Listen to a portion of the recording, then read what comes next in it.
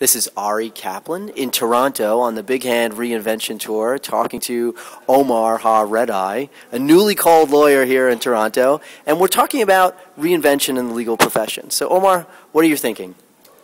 Well, this is a wonderful time for young lawyers to think about how they want to brand themselves and get out there, not just in the legal community, but in the society at large. Historically, we have a tradition in the legal community uh, where there was much of an aversion against, let's say, legal marketing. Uh, but that's changed now. But we want to be able to do that and communicate with the public in a manner that's sophisticated and classy.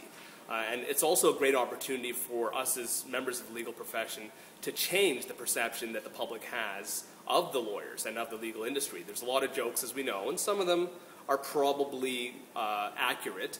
But we can also talk about the great stories that lawyers have about pro bono work that they do, or the access to justice issues that we contribute to, or the advocacy issues, for example, in terms of political involvement. There's so much that lawyers do that the public simply does not understand or appreciate, and this is our opportunity to make that difference and let them know. Wow.